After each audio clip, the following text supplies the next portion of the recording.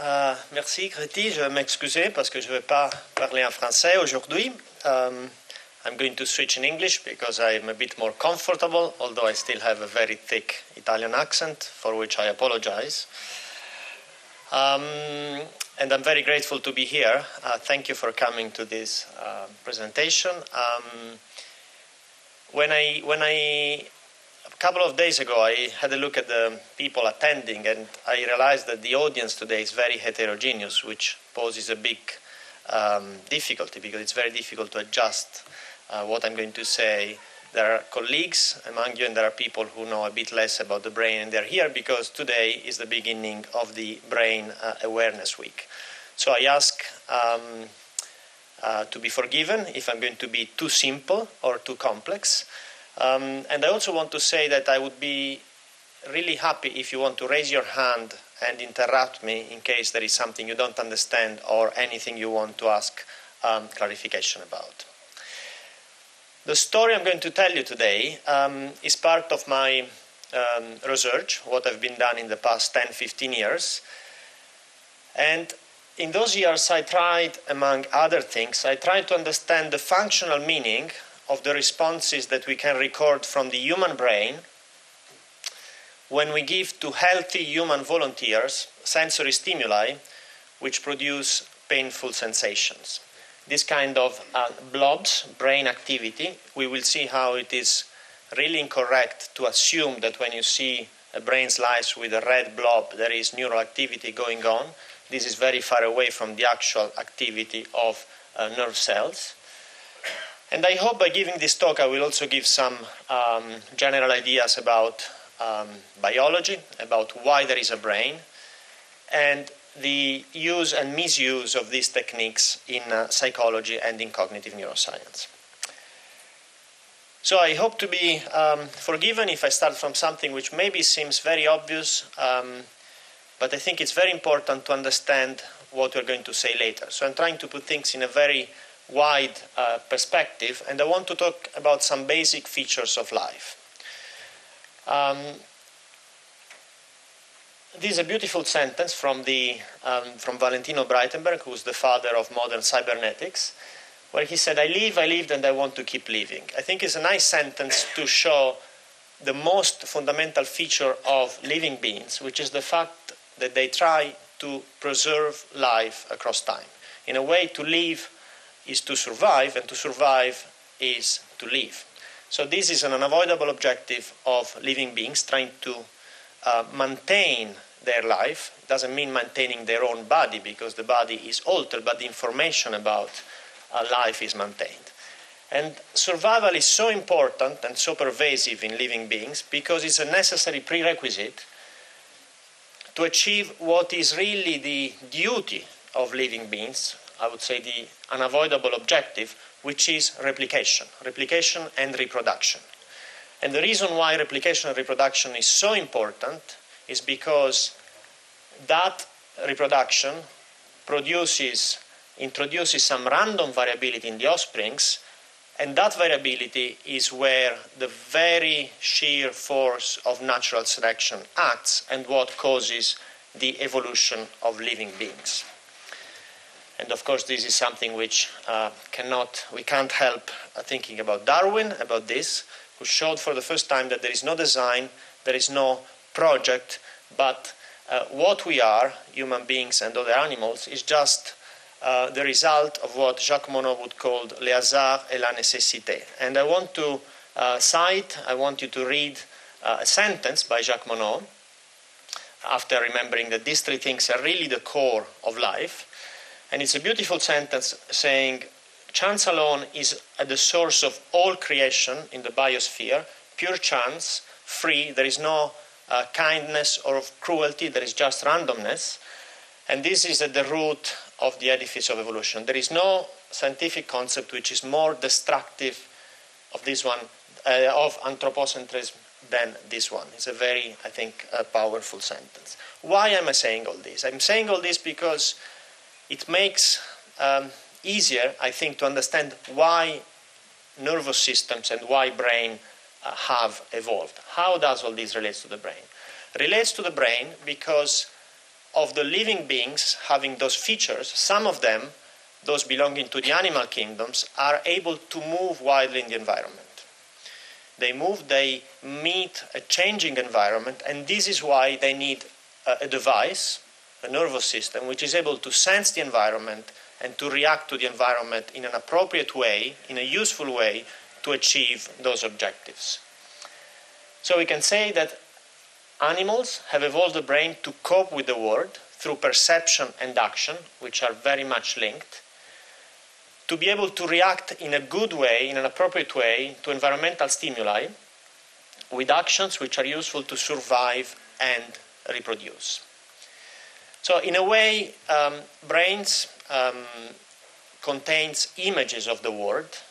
Um, what we perceive of the world is not the reality, is some models that our brains are, and these images or these models of the world are very much different across different species, and they are determined by these perceptual windows that we have on reality, which are quite species specific. Um, and these windows highlight those features of the world which are particularly relevant for behavior. And they're particularly relevant for the behavior, not in general, but for that type of animal and that type and the ancestors of that animal. So we are very anthropocentered, anthropocentric. We talk about ultrasound and infrasound, but actually there are animals who can hear sounds which we label as uh, ultrasounds and so on. Vision, we are really sensitive to a very narrow band of um, the electromagnetic spectrum um, and so on. So that's very important to remember. And there is a beautiful sentence by um, Richard Dawkins really showing this, saying that hypothetical zoologists of the future should be able, just by looking at the brain, the nervous system of an animal that he doesn't know, uh, to reconstruct the statistical properties of the environment where the animal lived, to read what was common and what was rare in that animal environment. Because the main reasons a brain exists is to act as filters to highlight what is unexpected, what is uncommon, and to um, discard almost what is common and uh, predictable. So we can say that in the brain there is an innate knowledge of what in the environment is important, what is dangerous, what is um, necessary for a certain species, even before having experience of the world. Of course, this knowledge is um, refined through life with experience, but the important concept is that through, throughout evolution, brains have been shaped to select environmental events on the basis of how relevant they are to behavior, keeping in mind those important objectives of uh, life, survival, and reproduction. And I think that if we keep this in mind, it's a bit less um, weird to state that what we know about the world is actually different from the world itself. Perception is different from reality. Um, so this is why what we perceive is not a faithful representation of the world. Typical example which is given in lecture is colors, which are not there in the world. It is the brain that adds color to objects. And the reason the brain does this is because it's much more useful to know that the apple is red against maybe a green background, regardless of the uh, light conditions, as opposed to knowing exactly the wavelength which is coming out, bouncing off the apple. Um, another thing that the brain does very well is to enhance borders and contours. And in a way, if you think about this ability to enhance and detect edges, this is again a feature showing how the brain is well trained, well tuned to detect unexpectancy. Because here there is a discrepancy compared to there. And some very basic physiological features mechanisms, like the mechanism of lateral inhibition across neurons, are the basis for this ability to identify unexpected uh, things. Um, of course, these unexpected things are very simple, but then progressively going up with the hierarchy, there can be much more complex. And to show this idea that what we perceive of the world is what is really useful, again, I'm going to uh, get the help of uh, an eminent physiologist from the US, Jerome Lettvin, who said uh, gave the typical example of the frog. The frog hunts on land by vision. The frog doesn't seem to see the details of stationary part of the world, but the frog will starve to death even surrounded by food if the food is not moving. So the choice of food is determined just by the size and by the movement.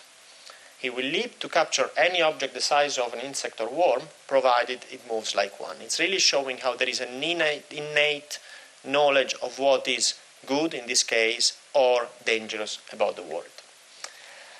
Um, and this idea of um, perception being different from reality is what explains some visual illusions. Some of them are almost uh, beyond belief.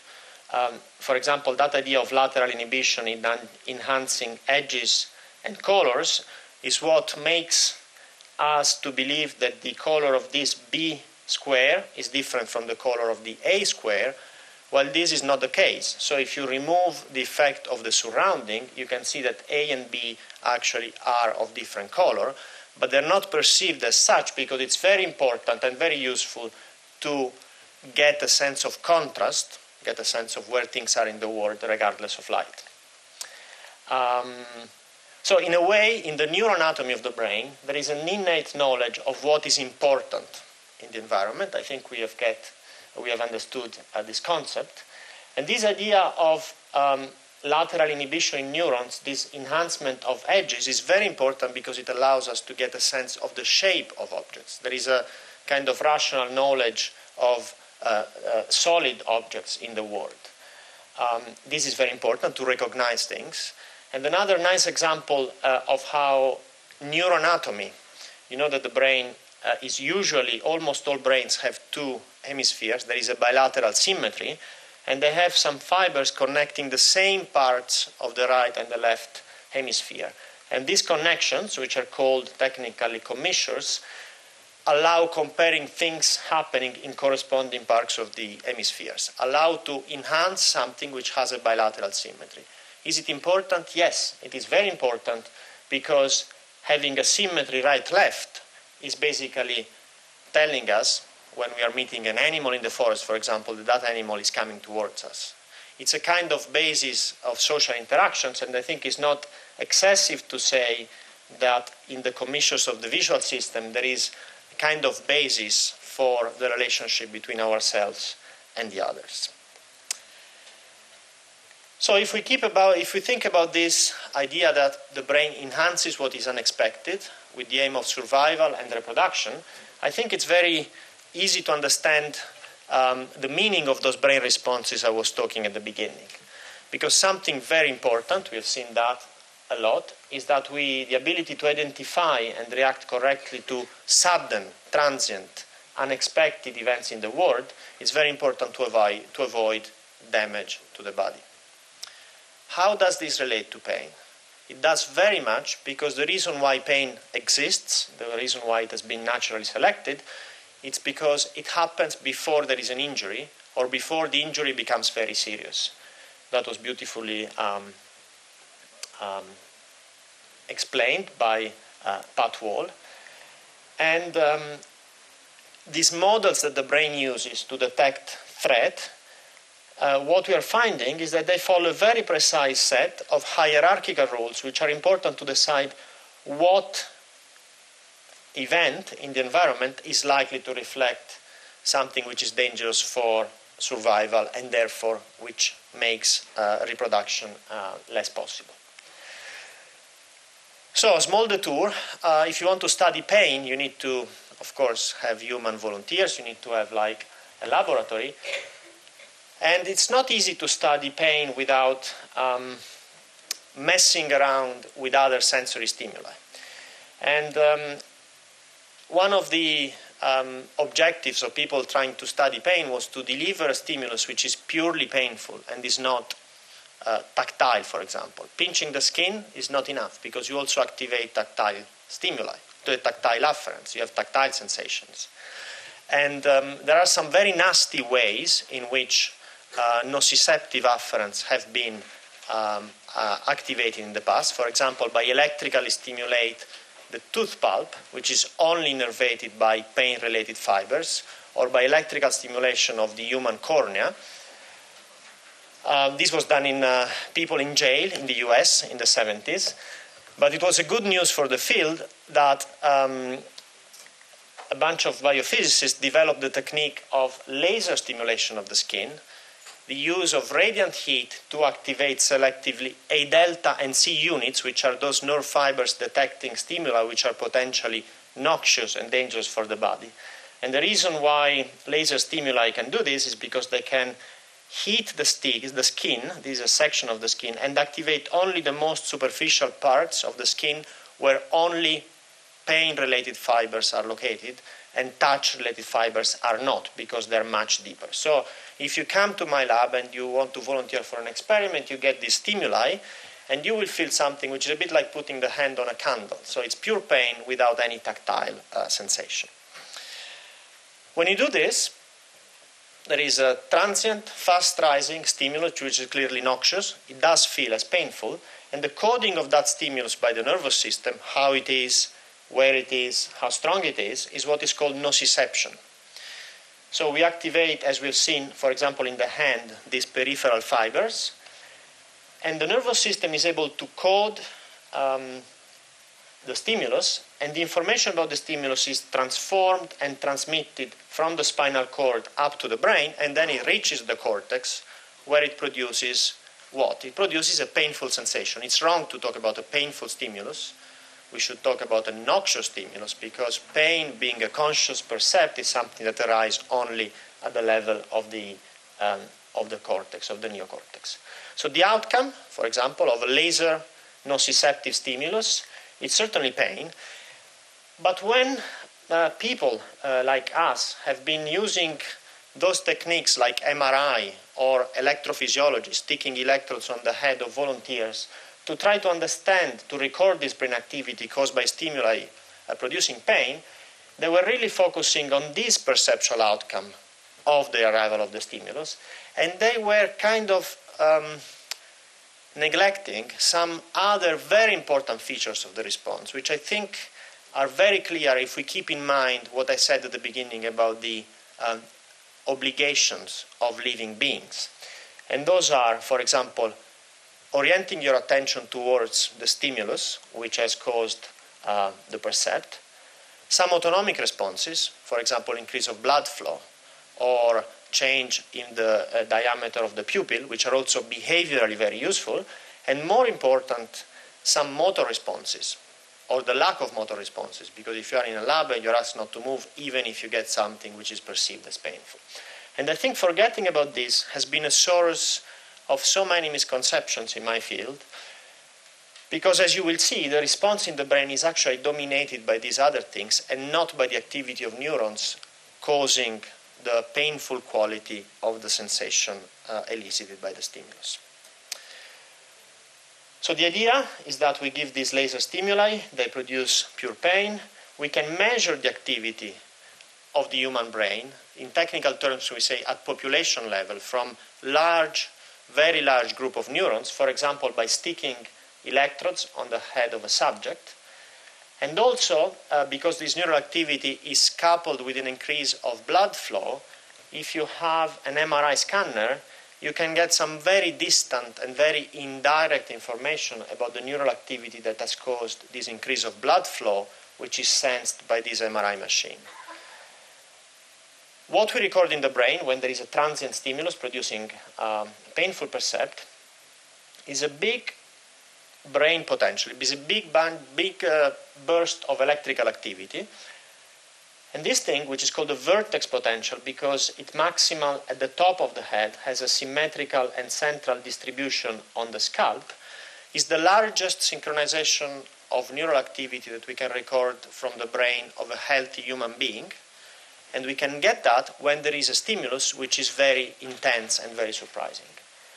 And believe it or not, there are neuroscientists here in the room. If you ask them what is the meaning of this electrical response, which is called an evoked potential, they probably would give you different questions. And the truth is that we don't know yet what is the functional significance of that big vertex brain potential. Um, if you use MRI, you get um, quite consistently across labs an array of brain areas which are considered to be active, although this assumption that when you see an increase of MRI signal, there is neural activity and that area is working is really um, dangerous because there are many things going on from neural activity and this very crude scale of uh, functional MRI, uh, magnetic resonance imaging. And when these pictures, which do have a very remarkable power of suggestion, they kind of give a sense of understanding that there is something real in the brain, maybe because we are intrinsically dualists, and by looking at this, we, we, we kind of see that there is something biological.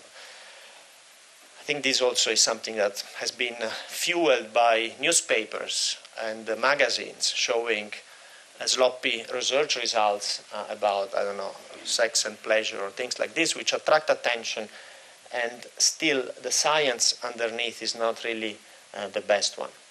So, the first time these kind of techniques uh, were used to study pain, to identify this network of brain areas which are active when a person feels pain, this is one of the first papers, extremely highly cited, describing activity in those brain areas. And it's very interesting because these colleagues at that time they said, "Oh, this activation in the brain, especially in this part of the brain which is called the cingulate cortex, is a surprisingly specific representation of pain." It's a very strong statement. It's really saying this is the correlate of a perceptual activity. Of course. Um, uh, journalists said, "Oh, the pain center in the brain has been found because of that um, simplistic tendency of assigning a function when we see a brain blob. Um, but this idea actually got established because it is true that this, that was called at the beginning a pain matrix, it is true that if you look at the amplitude of that response, it does correlate with pain. So you put someone in a brain scanner or with electrode, you give a stimulus which is painful, you see a response, you see that the size of that response gets bigger when the subject tells you that there is more pain, so there is a good correlation. And people said, okay, that's a neural marker of pain. It must be related to the activity of neurons causing the percept. Well, it's not as simple as that, uh, as often happens in science. It is certainly true that if you give a stimulus that goes up in temperature, you get more um, blood flow in those areas. If you do the same uh, using electrophysiology, recording electrical activity from the brain, stimuli reported to be more painful, P4, produce a response which is larger than stimuli reported as less painful, P1, so it's a good correlation.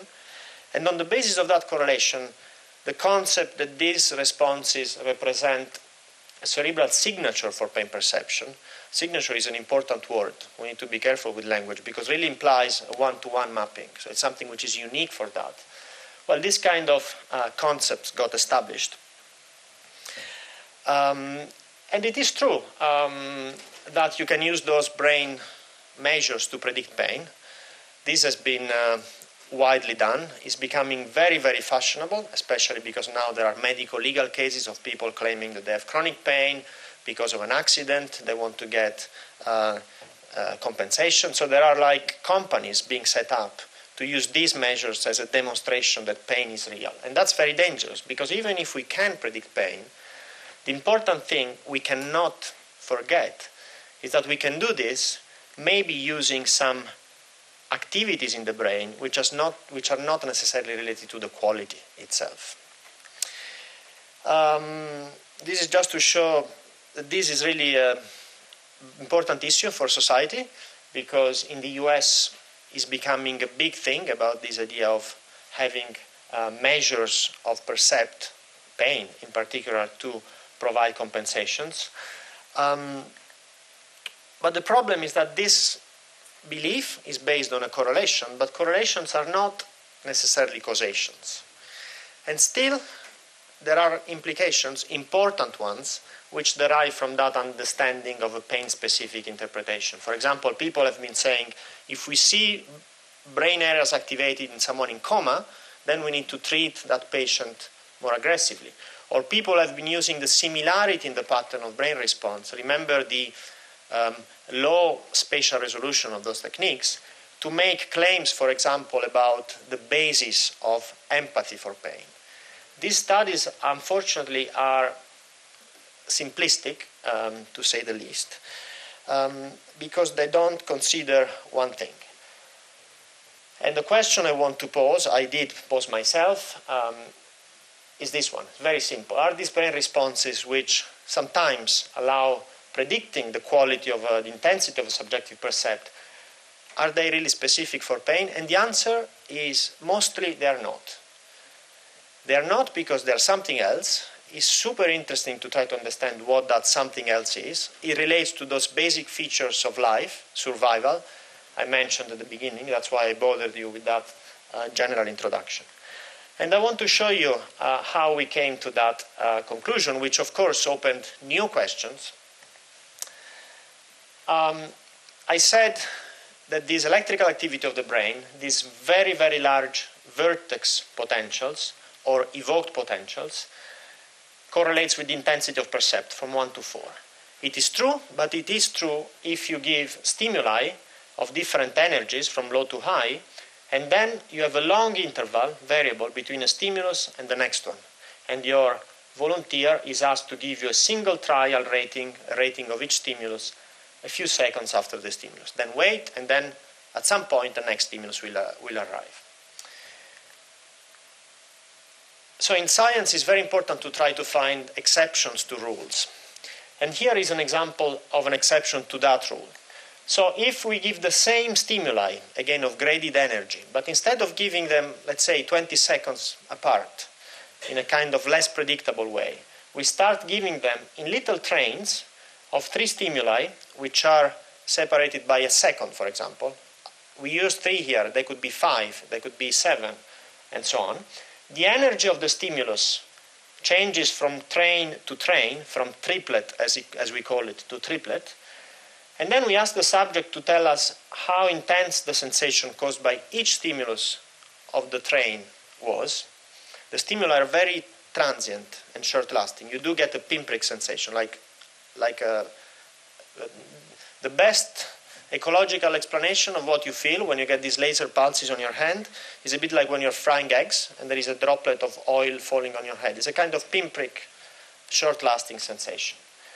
So when you do this, uh, what you get is a psychophysical function in which you can see that the intensity of percept, uh, for example, from a 0 to 100 scale, is very much dependent on the energy of the stimulus, no surprise so far, and is not dependent on the fact that you repeated the stimulus. The three stimuli are uh, perceived as more or less equal intense.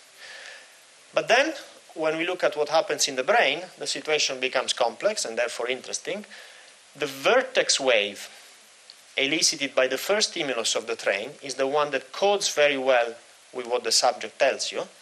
But if we look at the brain response elicited by the second and the third stimuli, which are perceived in terms of intensity of the pain as painful as the first one, then you see that the response is very much reduced and loses the ability to predict perception. What's going on? is an exception to the rule. That idea that these are pain evoked potentials cannot be entirely correct. There must be something else going on. Maybe we're dealing with something different. Um, this is another experiment which we have done a while ago. It was very difficult to publish this one because it was very controversial. Um, very simple. This time we used MRI, that technique to get measures of blood flow, which are indirectly related to brain activity, a technique which is widely used. And people were in the scanner. I don't know if any of you has been uh, a subject for this experiment. It's quite, quite an experience. And they were getting on the foot the lasers, producing the sharp pain, a strong tactile, short-lasting vibration, a very loud auditory stimulus, bang, and a very bright visual stimulus, an array of LEDs. They were all mixed up. Um, the interval between the stimuli was very variable. And then, very simply, if you look at what happens in the brain of those subjects at group level, then this is what you get in response to stimuli, which are all very surprising, but perceptually they're very, very different. Certainly, a bang or a flash of light is very different from a pinprick pain on the dorsum of your foot.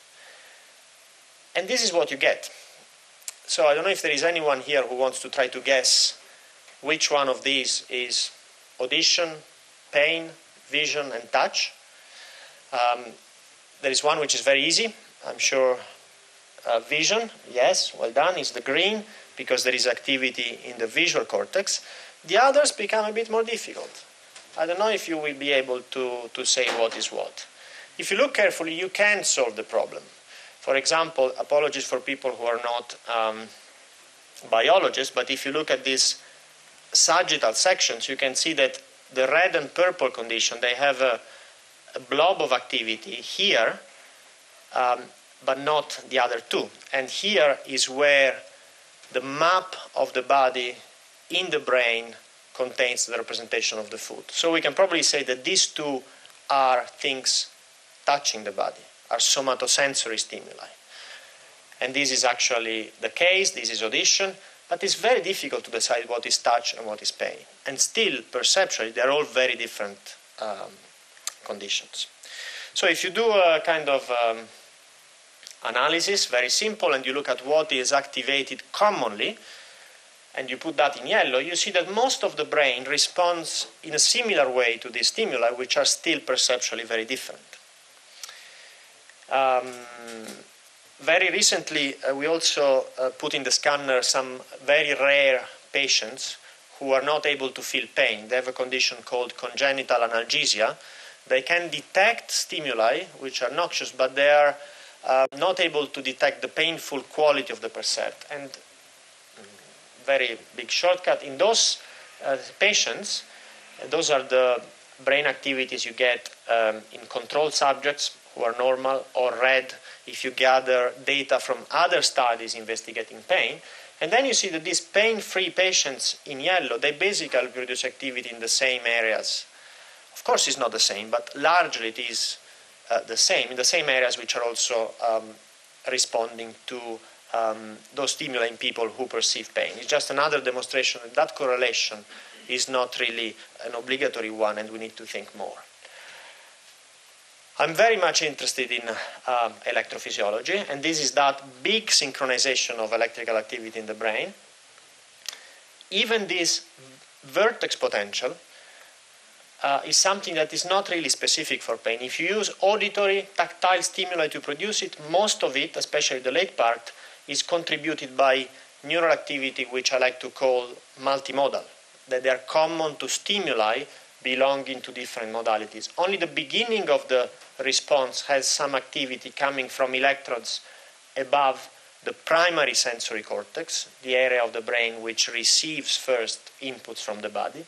But there is nothing clearly saying this is caused by something painful or not painful.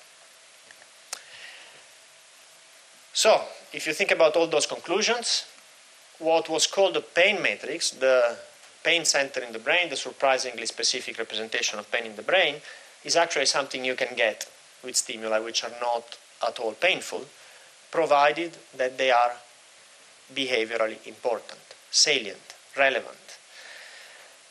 And that's why I bothered you at the beginning. So, if you keep this in mind, that you can get something which you do get in pain also when there is no pain, you see that the statement, oh, if we see those areas in someone, in a patient in coma, it means that that person is experiencing pain and we need to treat the patient in a more aggressive way is probably not valid. And again, all the speculations about empathy in the brain and how it comes about are also probably not really very, very solid. Um, I'll show you something else, uh, which is a study, let's skip this, um, in which people have been looking at social pain. Pain has another problem, which I don't know if I will have time to talk about, which is the problem that the word pain is a very imprecise word, and we use it for many things. When I talk to people, people say, "Oh, but you talk about like physical pain, emotional pain, social pain." So this kind of um, vagueness in language is a source of problems. This is a study where um, um, some colleagues put in an MRI scanners um, a population of students who just experienced a romantic breakup. They were left from girlfriend or boyfriend. And while in the scanner, they gave them uh, two types of stimuli. They gave them um, physical pain on the dorsum of the hand with the thermal stimulus, and they also gave them short presentation of a photograph of the former husband or wife who left them. So we have two very different uh, stimuli, and they found, surprise, that the areas which were activated by the physical pain were also activated by social pain. And they used that similarity to say uh, that this overlap between social rejection and physical pain means that in the brain there is a common somatosensory representation for social pain and physical pain.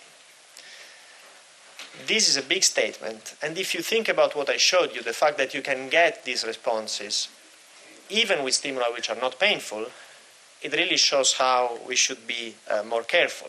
There are also silly studies showing that, oh, just the idea of having to do maths is painful because in the brain there are the same regions activated by pain, and so on.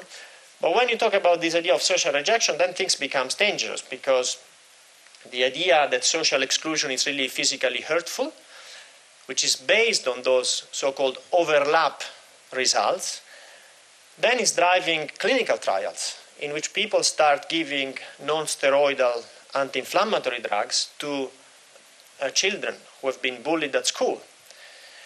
And maybe that is a good treatment.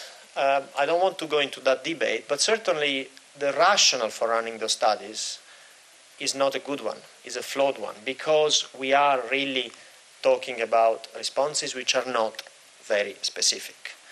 This is another example in which um, these are the brain responses. Again, we know these by now by people who received stimuli perceived as painful. And try to guess what these are. These are responses from the brain of newborns. And there is a big debate in neonatology about like the need to treat or not um, newborns with analgesics because they often have side effects and problems. And these basically uh, colleagues, they found that the brain of an infant respond in a similar way to what to how the brain of an adult respond to pain. And they use that, again, maybe this is a bit of like uh, press releases, but they use that to say, oh, this means that babies bees do feel pain like adults. So these pain regions, they're not really pain regions because they're very gross estimates of activity of a population of neurons it shows that infants are more sensitive, even more sensitive to pain than in adults, and more important, we need to review pain relief guidelines. Again, dangerous, we need to be careful about these kind of uh, statements. Why people are trapped into these things? Because there is a kind of um, tendency, and it would be very interesting to discuss why um, human beings have this tendency of finding causal relationships in the world, even when there aren't causal relationships in the world uh, to assume that when you see something in the brain is related to a perceptual state.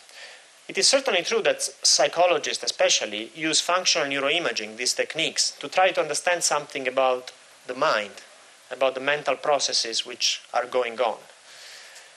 And regardless of the problems in using these blood flow measures to get information about the neural activity, the idea of inferring a state a perceptual state on the basis of brain activation is, from a logical point of view, absolutely uh, simply flawed. Because, you know, in logic, we can certainly say if we run an experiment, if we, we know that if A then B, then we run our experiment, our observation is A, we can certainly conclude B. There is no problem about this. But there is something very similar um, I mean, to put this in more friendly term, I usually I use this metaphor. I say, if John is doing laundry at home, uses more electricity. I run my experiment, observe that John is doing laundry, and then I can certainly conclude that he is using more electricity. Now, something very similar to this, but profoundly different from a logical point of view, a very much affective the interpretation of those results I was mentioning, is this. I know that when John does laundry, he pays a higher electricity bill. My experiment is showing that the electricity bill is increased at the end of the month. And then what I, am tempted to conclude is that, ah, he was doing laundry, that's why there is an increase of energy consumption. it's obvious that here there is a problem because it could be that this is an explanation, but there are many other possible explanations for my uh, observation. For example, he was making a cake for his children. So, and this is something we need to keep in mind. We can't really get away from this kind of reverse inferences in science, but we need to treat them uh, with care in a probabilistic way. We can't simply run an experiment with, I don't know, on voters for right wing or left wing parties and seeing that right wing parties have more activity in that brain areas, and then we say, oh, that brain areas is the brain areas of right wingness. Because we need to think about the specificity of that response. And this kind of reverse inference is exactly what people have been doing, for example, in those examples in clinical neurology about pain and, um, and treatment.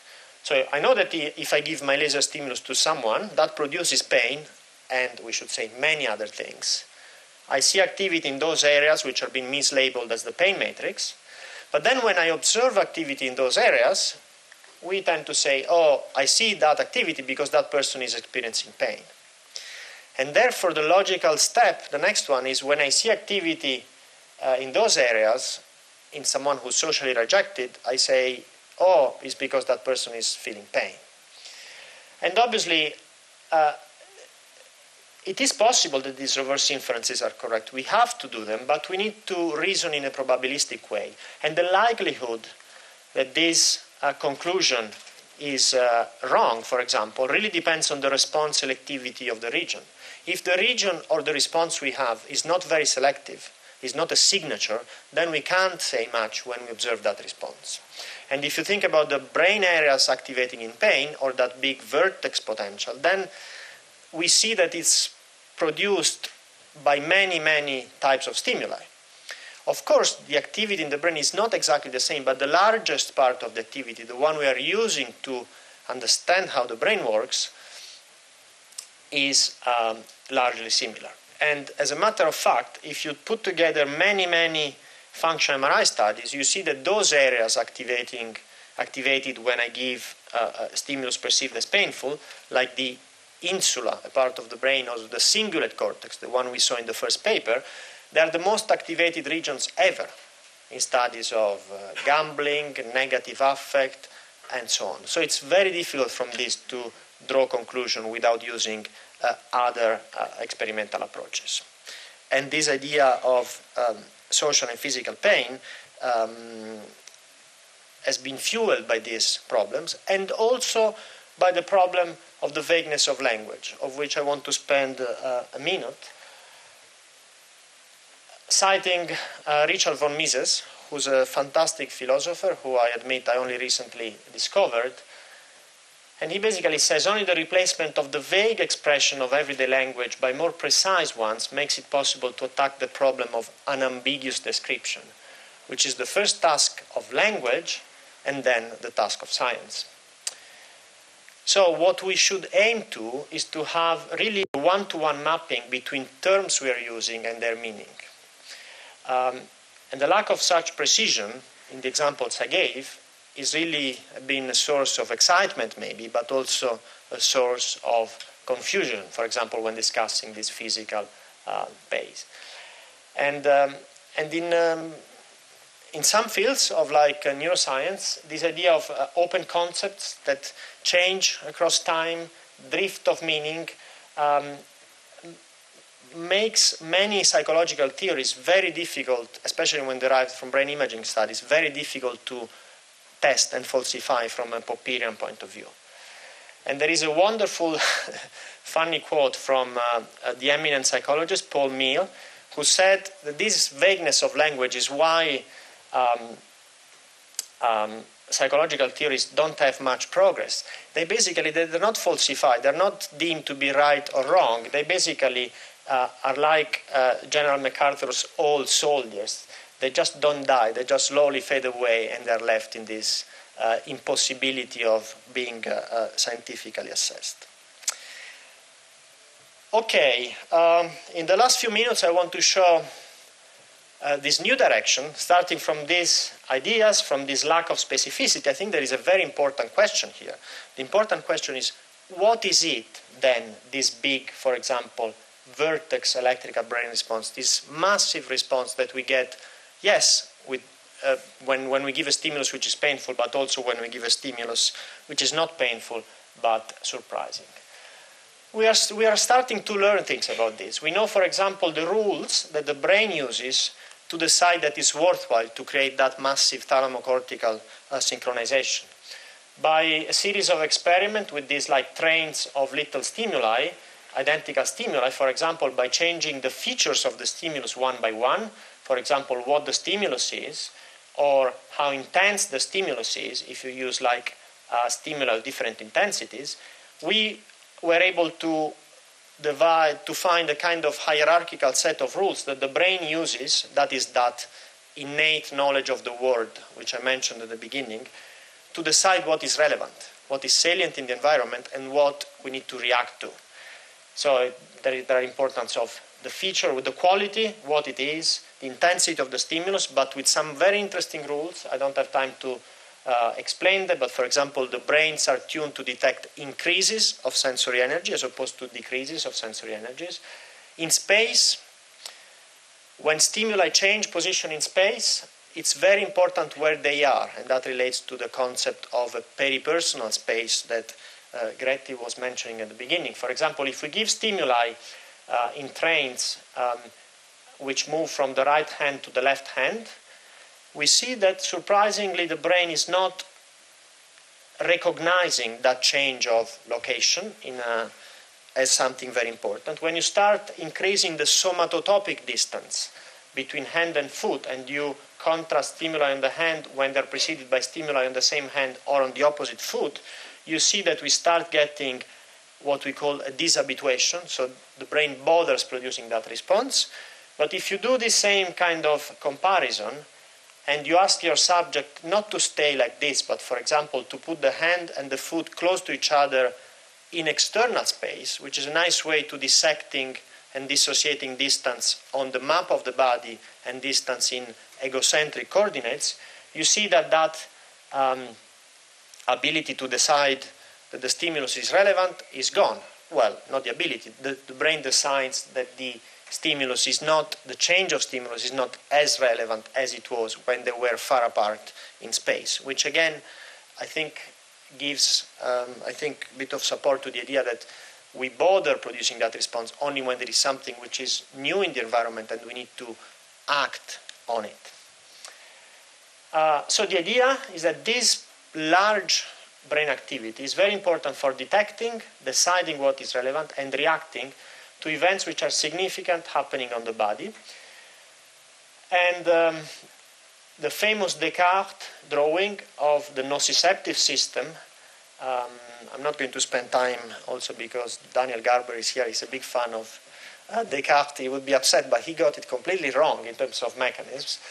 Um, he thought there was like uh, some compressed air coming out of the brain going into pipes into the nerves.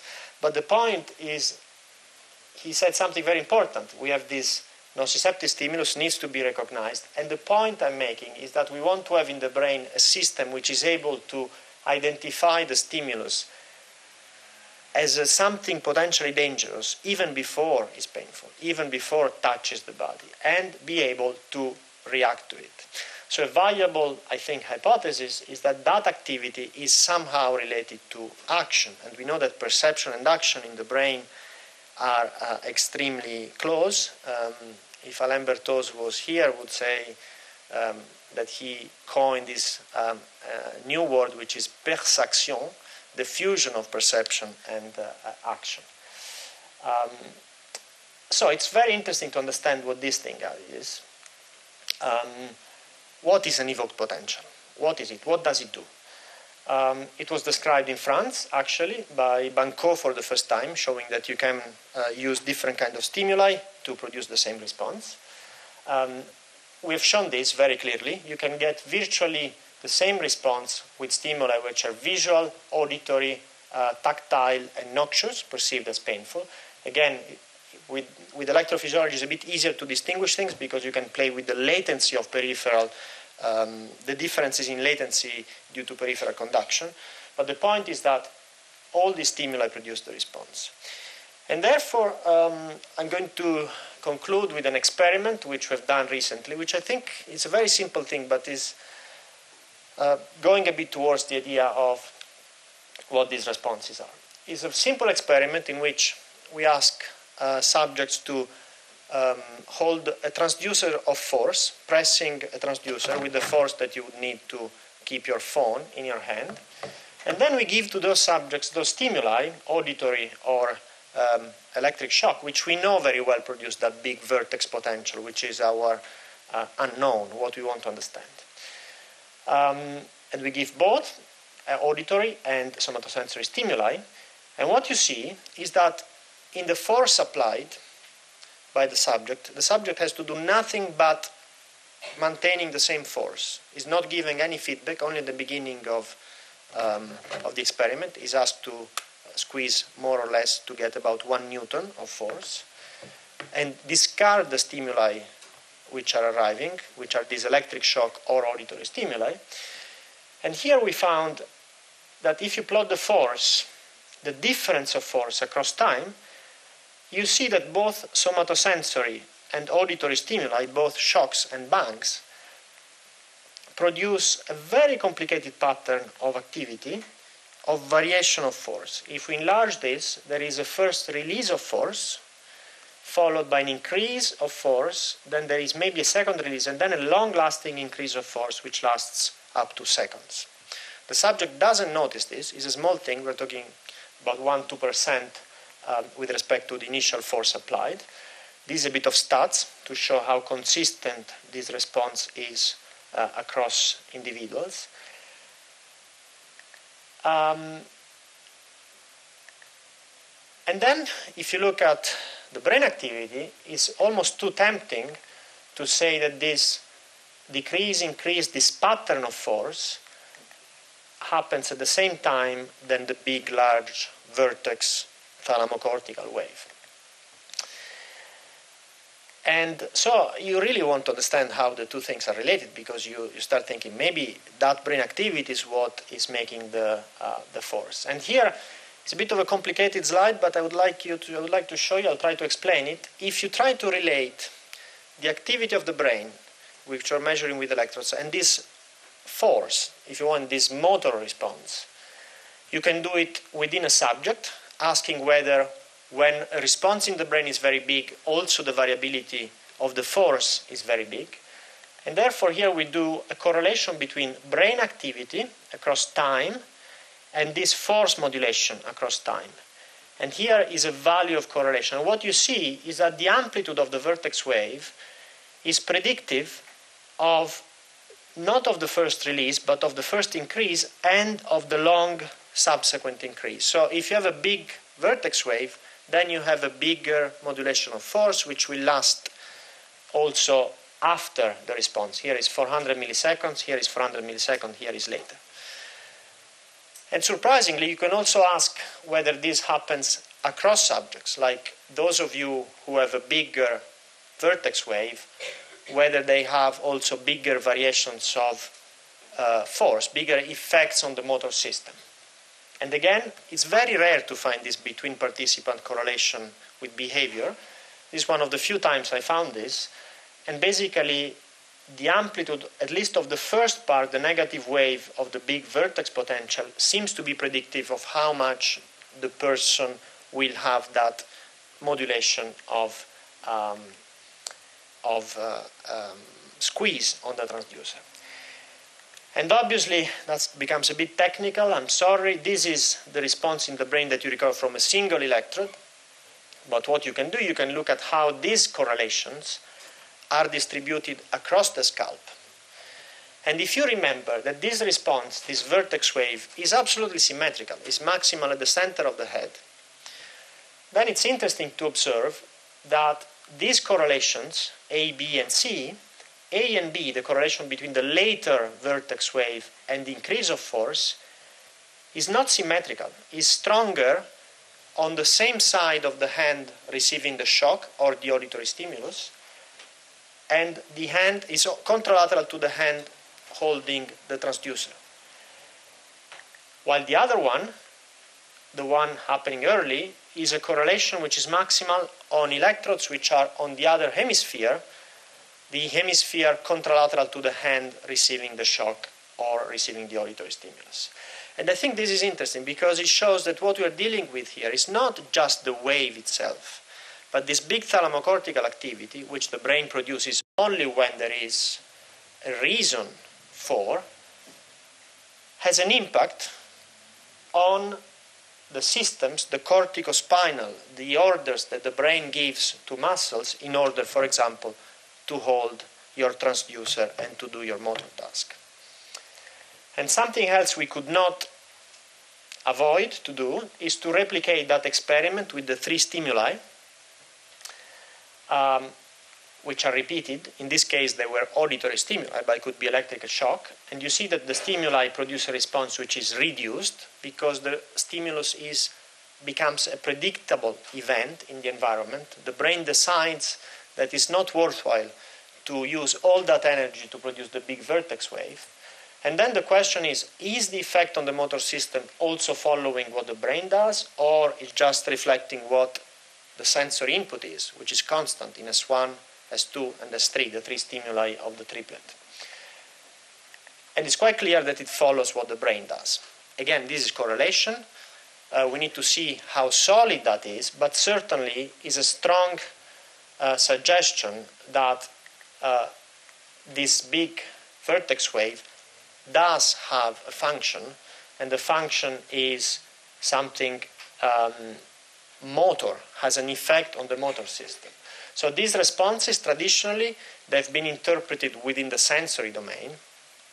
Uh, they've been in the realm of sensory physiology, but it seems that there is a basic physiological mechanism that couples these responses with the motor output, and that motor output is modulated in a complex way. Um, these are not just reflexes, they are strongly dependent on the factors which, um, like the context in which the stimuli are delivered. But the point is, I think this is a nice example of link between perception and action. So these environmental stimuli have an immediate effect on motor activity, and it's certainly tempting to say that this is probably possibly important to prepare actions which are important either to defend yourself, to survive, or to um, exploit an affordance in the world, like to catch a prey, so like predator or a prey.